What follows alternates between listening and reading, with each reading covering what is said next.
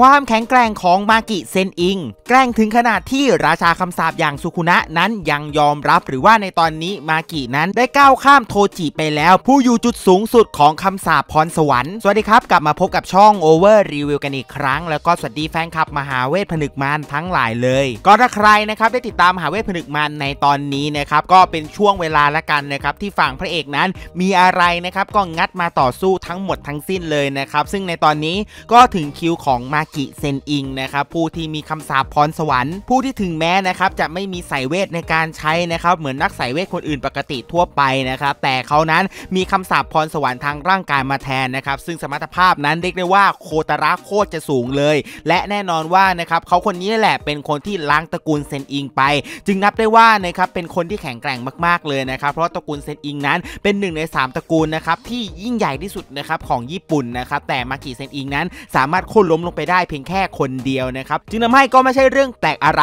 ที่มากินั้นนะครับจะถูกยกย่องนะครับในหมู่แฟนคลับมหาเวทผนึกมารหรือแม้กระทั่งทุกคนนั้น ว่าเป็นตัวละครหนึ่งตัวนะครับที่มันแข็งแกร่งมากๆเลยนะครับซึ่งตอนที่เขานั้นได้รับพลังแบบสูงสุดของตัวเองมา จากเหตุการณ์ที่ล้างตระกูลเซนอิงไปในตอนนั้นนะครับก็ได้มีกล่องข้อความเขียนไว้แล้วครับว่ามากิเซนอิงนั้นมีฝีมือที่อยู่ในระดับทัดเทียมกันกับโทจินะครับแต่หากนับณปัจจุบันนี้ ผมว่ามันก็มีโอกาสสูงแล้วนะที่มากินั้นนะครับน่าจะก้าวข้ามในตัวของโทจิไปแล้ว และยิ่งนะครับเราได้เห็นการต่อสู้ของมากิเซนอิงนะครับที่ปะทะกับราชาคำสาปอย่างสุคุนะ ได้แบบดุเดือดมากๆเลยนะครับเรียกได้ว่าไม่ได้ด้อยไปกว่าราชาคำสาปอย่างสุคุนะเลย จนถึงขนาดที่สุคุนะนั้นยังต้องชมในตัวของมากิเซนอิงเลยแหละครับว่าสู้กับมากิเนี่ยเหมือนนะครับต่อสู้กับมโหรากาอย่างไงอย่างนั้นเลยนะครับซึ่งถ้าแบบผิวเผินอาจจะงงว่าอาอาจจะชมว่ามากิเก่งนะครับแบบโหดระดับมโหรากาหรือเปล่า แต่มันเป็นการชมนะครับที่มีความหมายนะครับมันมีความหมายที่ว่าการโจมตีของสุคุนะนั้นนะครับโจมตีไปเถิดนะครับมากินั้นก็สามารถตอบโต้กลับได้ทุกการโจมตีนะครับหรือว่าสามารถหลบได้ทุกการโจมตี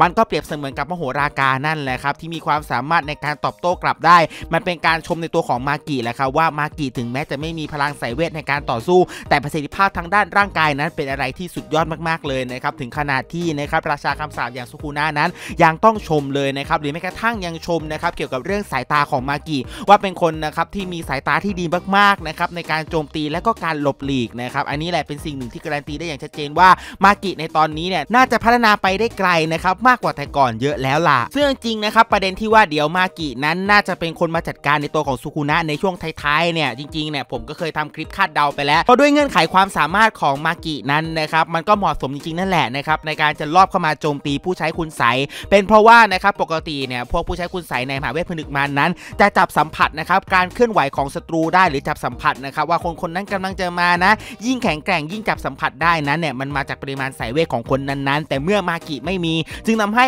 มันก็เหมาะสมแล้วล่ะนะครับที่มากินั้นจะเป็นคนรอบโจมตีในตัวของสุคุนะ มันก็เลยเกิดการวางแผนกันนั่นแหละครับก็คือให้ทางด้านของยูตานั้นกลางอาณาเขตซ่าในการต่อสู้กับสุคุนะนะครับและเมื่อได้โอกาสนะครับที่สุคุนะนั้นเนี่ยอยู่ในช่วงเวลานะครับที่อาจจะแบบว่าเผลอที่สุดแล้วนะครับแต่ใช้จังหวะนี้ในการแตกตัวนะครับของอาณาเขตของตนเองนะครับและนะครับให้มากินั้นพุ่งมาด้วยความเร็วสูง และโจมตีเข้าใส่ในตัวของสุคุนะ ซึ่งก็เป็นผลสำเร็จด้วยนะ เป็นเพราะว่ามากินั้นนะครับก็มาด้วยความเร็วเล็กได้ว่าตั้งท่าในการโจมตีเลยนะครับและโจมตีแทงเข้าไปทะลุในตัวของสุคุนะได้นะครับและนะครับไอ้ดาบที่มากิแทงเข้าไปเลยเนี่ยมันก็คือดาบพิเศษนะครับอย่างดาบตัดวิญญาณ ซึ่งผมเคยทำคลิปอธิบายเกี่ยวกับเรื่องดาบตัดวิญญาณไปแล้วสามารถย้อนกลับไปรับชมได้เลย มันคือดาบนะครับที่สามารถนะครับโจมตีใส่คนคนนั้น และคนคนนั้นเนี่ยเมื่อถูกโจมตีไปแล้ว จะใช้สายเวทย้อนกลับในการรักษาตนเองได้แบบช้ามากๆนะครับคือปกติเนี่ยสุคุนะมันสามารถใช้สายเวทย้อนกลับได้ใช่ไหมและปัจจุบันนี้เนี่ยมันก็ไม่ได้แกร่งเท่าเดิมแล้วเพราะด้วยความที่เสียพลังไปเยอะ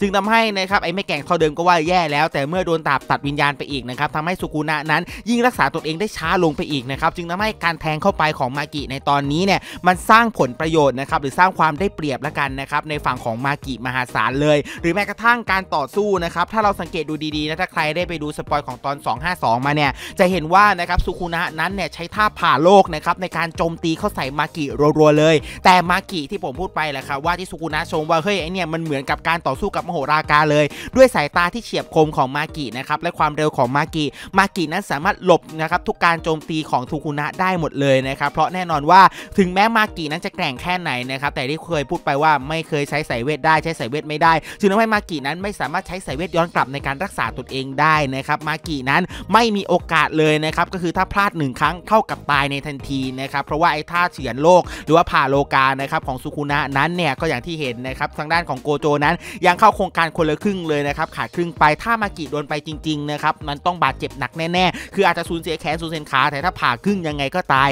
จึงทำให้มากินั้นนะครับไม่มีโอกาสพลาดเลยนะครับถ้าสุคุนะโจมตีมา และมากิไม่ได้เร็วมากเพียงพอไม่ได้มีสายตาที่ดีมากเพียงพอเธอนั้นนะครับก็จะเป็นฝ่ายที่ต้องเสียชีวิตลงไป มันจึงเป็นสิ่งหนึ่งที่น่าสนใจเลยแหละครับว่าไอพรสวรรค์ขั้นสูงนะครับที่มากินั้นสามารถปลดล็อกมาได้เนี่ยมันมีอะไรดีมากกว่าที่พวกเราคาดคิดหรือไม่ เพราะอย่างที่เนื้อเรื่องเคยพูดไปก่อนหน้านี้ว่าฝีมือของมากินั้นเท่ากับโทจินะครับแต่โดยส่วนตัวผมเชื่อว่าตอนเนี้ยมากิน่าจะพัฒนาไปนะครับอยู่ในระดับที่มันเหนือไปกว่าแล้ว แต่จะเหนือในระดับไหนเท่านั้นเองนะครับซึ่งดูจากตอนเนี้ยการต่อสู้นะครับก็จะเห็นว่ามากินั้นนะครับโอ้โหก็เลยสู้ได้จัดหนักจัดเต็มเลยนะครับถึงแม้ราชาคำสาปอย่างสุคุนะนั้น จะพยายามตอบโต้ก็ยังตอบโต้ไม่ได้นะครับจนในท้ายที่สุดก็อย่างที่เราเห็นแล้วครับว่าสุคุนะนั้นต้องงัดร่างที่แท้จริงของตนเองมาในการต่อสู้กับมากิเลย ซึ่งอันนั้นแหละครับคงจะเป็นบททดสอบที่สำคัญแล้วแหละครับว่ามากินั้นจะสามารถต่อสู้จะสามารถยื้อ หรือสามารถทำอะไรบางสิ่งบางอย่างนะครับเพื่อลดทอนพลังนะครับของสุคุนะได้หรือเปล่า เพราะในตอนนี้นะครับดูจากสภาพของแต่ละคนแล้วนะครับอย่างยูตะอย่างเงี้ยก็แทบไม่รอดแล้วนะครับต้องไปหนีรักษาตัว หรือแม้กระทั่งยูจินั้นนะครับก็ร่วงลงไปนะครับเพราะว่าไม่สามารถใช้เซเวตย้อนกลับได้นะครับตามที่ใจตนเองต้องการ ทุกสิ่งทุกอย่างในตอนนี้นะครับมันก็เลยขึ้นอยู่กับมากิแล้วแหละครับว่ามากิจะสู้ยังไงต่อ เพราะอย่างน้อยๆนะครับสิ่งหนึ่งที่เรานั้นก็ต้องระวังในตัวของสุคุนะสุคุนะนั้นยังมีบางท่าที่ยังไม่เปิดเผยนะครับอีกทั้งมากิที่ผมพูดไปแล้วครับว่าโดนโจมตีทีเดียวก็ร่วงเลยนะ จึงทำให้มากินั้นต้องรีบเผด็จศึกในตัวของสุคุนะให้เร็วที่สุดนะครับก็คือจะต้องฟันในตัวของสุคุนะให้ได้ เพราะไม่อย่างนั้นแล้วก็นะครับถ้าไม่สามารถฟันได้ยิ่งต่อสู้ยิ่งเสียเปรียบถึงแม้มากินั้นนะครับจะมีพรสวรรค์ทางร่างกายที่มันสูงมากๆ ความเร็วนะครับความแข็งแกร่งหรือแม้กระทั่งความอึดของร่างกายตนเอง แต่ในท้ายที่สุดแล้วนะครับมนุษย์ก็คือมนุษย์นะครับยิ่งสู้ยิ่งยื้อไปนะครับร่างกายนั้นยิ่งถดถอยลงไป จึงทำให้สุกุนานั้นอาจจะเป็นฝ่ายที่ได้เปรียบก็เป็นไปได้ เพราะอย่างน้อยๆสุกุนานั้นก็ยังสามารถใช้สายเวทย้อนกลับ ในการรักษาตนเองได้นะครับอันนี้ยังไม่นับภาพรวมนะถ้าสุกุนานั้นฟื้นฟูร่างกายของตัวเองได้เต็มจริง ๆ และสามารถกางอาณาเขตได้นะครับถ้าแบบนั้นจริงๆนะครับมากีเนี่ยก็โอกาสรอดแทบไม่มีเลยนะ เพราะเงื่อนไขของการกางอาณาเขตนั้นมันโดนร้อยเปอร์เซ็นต์และในเมื่อมากีนั้นนะครับไม่สามารถใช้สายเวทได้ หรือนะครับอะไรในการตอบโต้ได้มันแทบจะแบบว่าโดนโจมตีร้อยเปอร์เซ็นต์และน่าจะเสียชีวิตลงไปในทันที นี่ก็คือเป็นช่วงเวลานะครับที่มากินั้นต้องเก็บเกี่ยวให้ได้มากที่สุดในการจัดการในการสังหารในตัวของสุกุนะและถ้ามากินั้นนะครับสามารถโจมตีได้อันนี้ผมไม่นับถึงแบบว่าอาจจะถึงตายนะ แค่โจมตีจนทำให้นะครับสุกุนะนั้นอาจจะต้องสูญเสียบางสิ่งบางอย่าง หรือสูญเสียพลังไปบางสิ่งบางอย่าง อันนั้นผมว่าก็สามารถนับได้ทันทีเลยแหละครับว่ามากินั้นนะครับอยู่ในระดับที่มันสูงขึ้นไปแล้ว อาจจะเหนือกว่าโทจิก็เป็นไปได้นะครับและทุกคนคิดอย่างไรบ้างนะครับคิดว่ามากินั้นจะสามารถต่อสู้กับสุกุนะได้ในระดับไหนนะครับซึ่งถ้าถามผมนะอะเราพูดตามความเป็นจริงด้วยความที่ว่ามากินั้น ไม่ใช่พระเอกมหาเวทผนึกมารไม่ใช่นางเอกมหาเวทผนึกมารนะครับมันไม่มีทางอยู่แล้วแหละที่มากินั้นจะสังหารในตัวของสุคุนะได้นะครับแต่นะครับอะมันก็ยังพอได้ลุ้นว่ามากิอะช่วยรอดชีวิตหน่อยนะมากินั้นนะครับช่วยแบบว่าโจมตีสุคุนะนั้นบาดเจ็บหนักหรือสูญเสียพลังบางสิ่งบางอย่างไปหน่อยนะนะครับเหมือนกับคนอื่นๆ และการที่เสียสละก่อนหน้านี้